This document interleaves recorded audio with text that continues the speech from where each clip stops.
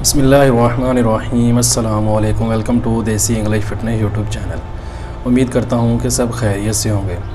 تو گیس آج کی ویڈیو ایک بار پھر میں لے کر آیا ہوں آپ لوگوں کے لیے مردانہ ٹائمنگ کے اوپر، جن لوگوں کو مردانہ ٹائمنگ کا بہت زیادہ مسئلہ ہے اور وہ لوگ کہتے ہیں کہ ہم کوئی میڈیسن کوئی گولی وغیرہ یوز نہیں کرنا چاہتے، ہمیں کوئی ایسا نسخہ بتایا جائے جو ہم بنا کے استعمال کر سکیں اور ہمیں اس سے فائدہ ہو سکے، اور وہ بھی نسخہ ایسا ہو جو ہم جب بھی ہمارا یہ ہم بستری کا ارادہ ہو، اس دن ہم اس کو استعمال کریں، ہمیں روز استعمال نہ کرنا پڑے۔ تو اس کے لیے ایک بہترین اور زبردست میں آج آپ لوگوں کے لیے نسخہ لے کر آیا ہوں، وہ آپ استعمال کرو گے تو انشاءاللہ آپ کو اس سے بہت زیادہ فائدہ ہوگا۔ اگر آپ لوگوں کو مردانہ ٹائمنگ کا مسئلہ ہے، اس کو اگر آپ روٹین کے ساتھ استعمال کرنا چاہتے ہیں تو روٹین کے ساتھ بھی استعمال کر سکتے ہیں۔ ڈیلی بنا کے اس کو استعمال کریں۔ تو اگر آپ ڈیلی بنا کے استعمال نہیں کرنا چاہتے تو آپ اس کو اس دن استعمال کریں جب آپ لوگوں نے ہم بستری کرنی ہے، اس سے ہم بستری سے دو گھنٹہ پہلے اس کو آپ استعمال کر لیں، اس کو بنا کے کھا لیں اور پی لیں۔ اس کو، اس کے بعد اگر آپ لوگوں نے کچھ چیز کھانی نہیں ہے اور کھانا بھی اس دن آپ نے تھوڑا سا کم کھانا ہے، جس دن آپ کا یہ پروگرام ہو، مثلا جس دن یہ ارادہ بندہ کرتا ہے، ہم بستری کا اس دن آپ لوگوں نے کھانا بھی بہت کم کھانا ہے اور کھانے کے دو گھنٹے بعد آپ نے اس کو استعمال کرنا ہے۔ تو انشاءاللہ یہ جو آپ لوگ گولیاں وغیرہ استعمال کرتے ہو خود کوئی بھی گولی استعمال کرتے ہو ٹائمنگ کے لیے اس سے آپ کی جان چھوٹ جائے گی۔ یہ بہترین اور زبردست اور آسان سا ایک نسخہ ہے، اس کو آپ اپنائیں اور انشاءاللہ ان ساری پریشانیوں سے آپ کا مسئلہ جو ہے وہ حل ہو جائے گا۔ تو آتے ہیں اپنے نسخے کی طرف۔ اس سے پہلے نئے آنے والے دوستوں سے یہ ریکویسٹ ہے کہ میرے چینل کو سبسکرائب کر لیں اور ساتھ ہی بیل آئیکن کے بٹن پر کلک لازمی کریں تاکہ میری ہر نئے آنے والی ویڈیو کی اپڈیٹ آپ کو ٹائم پہ مل سکے۔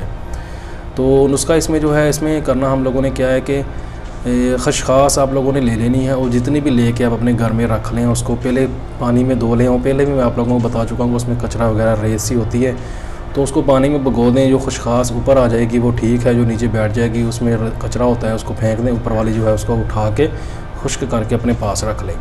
کرنا آپ لوگوں نے کیا ہے کہ جب بھی آپ کا یہ کھانے کا دل کرے، جس دن آپ لوگوں نے ہم بستری کرنی ہے، تب جہاں آپ نے اس کو روٹین سے استعمال کرنا ہے، تب۔ گلاس کا آپ نے، دو گلاس آپ نے دودھ کے لینے ہیں۔ اس میں آپ نے اس کو ڈال دینا ہے خشخاص کے دو چمچ کو۔ آپ نے اس کو ابالنا ہے، اچھے سے اتنا ابالنا ہے کہ آپ کے پاس تقریباً ایک گلاس بچ جائے۔ ایک گلاس جو ہے تقریباً آپ نے اس کا جلا دینا پندرہ سے بیس منٹ تک آپ ہلکی آنچ پہ اس کو جب پکائیں گے تو ایک گلاس جو دودھ کا ختم ہو جائے گا، ایک گلاس آپ کے پاس باقی بچے گا۔ اس کو آپ نے اتار کے چھان لینا ہے خشخاص جو ہے وہ نکال کے پھینک دینی ہے۔ اور بعد اس کے اندر اس کے اندر جو چیزیں آپ لوگوں نے ایڈ کرنی ہے وہ دو ہیں، ایک آپ نے لینا ہے تخم ریحان اور ایک لینا ہے آپ نے اکر کر رہا یہ دونوں ہم وزن لینی ہے جتنے بھی لے کے رکھنی چاہتی ہیں، لے کے رکھ سکتے ہیں، لیکن میں دو دو تولہ کے حساب سے بتا دیتا ہوں۔ دو دو تولہ دونوں لیں، ان دونوں کو پیس لیں، ان کا سفوب بنا لیں۔